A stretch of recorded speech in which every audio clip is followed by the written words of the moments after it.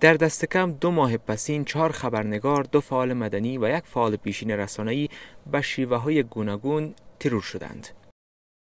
از این میان تا حالا وزارت امور داخله گفته که در پیوند به ترور یما سیاوش سه نفر در پیوند به قتل الیاس دایی دو نفر در پیوند به ترور ملاله میوند دو نفر در پیوند به ترور رحمت الله نیکزاد دو نفر در پیوند به ترور فرشته کوهستانی دو نفر و در پیوند به ترور یوسف رشید به تازگی سه نفر را بازداشت کرده است. پلیس پورسته ورځو که د یوسف رشید قاتلین نیولې دوه کسان هغه کسان دي چې مستقیما په دغه قتل کې دخیل دي او ښکیل دي یا بلتن مزنون دي.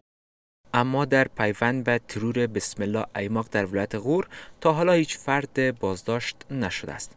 حکومت به ویژه نهادهای امنیتی طالبان را مسئول بیشترین قتل ها گفته است.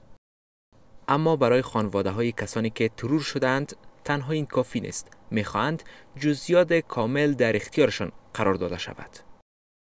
به هیڅ کوم معلومات موږ سره دي شریک شوي چې دا رښتیا ده یا نه ده. ځکه چې پټ مخ ساتل شوي دي باندې څوک پوهیږي؟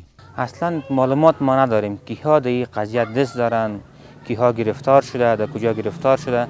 نه اصلا معلومات با ما و فامیل ما شریک نساخته نشده.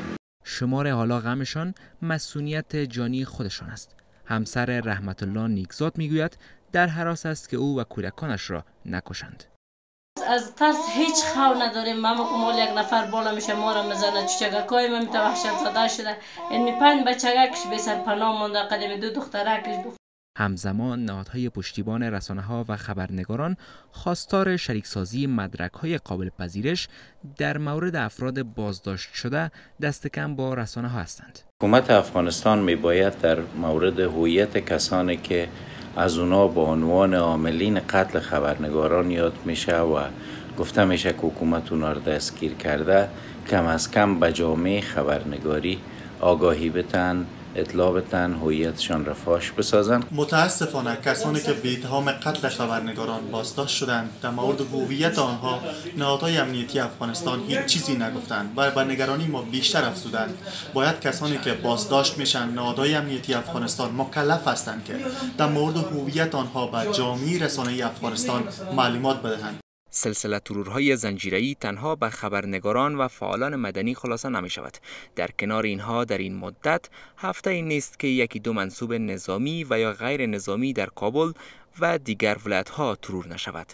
ترورهایی که کمتر فرد و یا گروه مسئولیت آن را بر عهده می‌گیرد.